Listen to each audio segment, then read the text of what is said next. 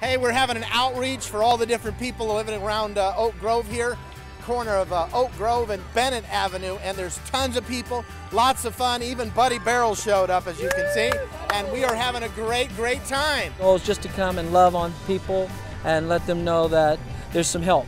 We're giving away free Bibles. We're giving out groceries.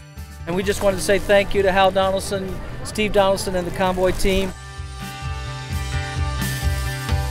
We're thankful that the Pregnancy Care Center comes and every year joins us. We have a very cozy little environment where women um, can come in and talk to us and find out what's going on in their life, how we can uh, meet their greatest need, and then we give a pregnancy test. Upon a positive pregnancy, then we can do a first trimester ultrasound.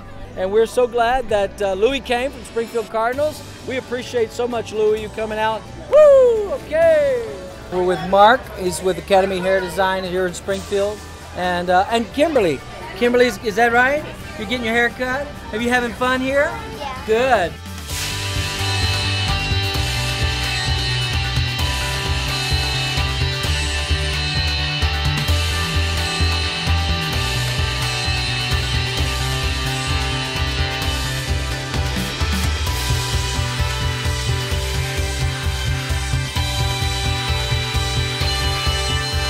Basically, friends, we are Oak Grove.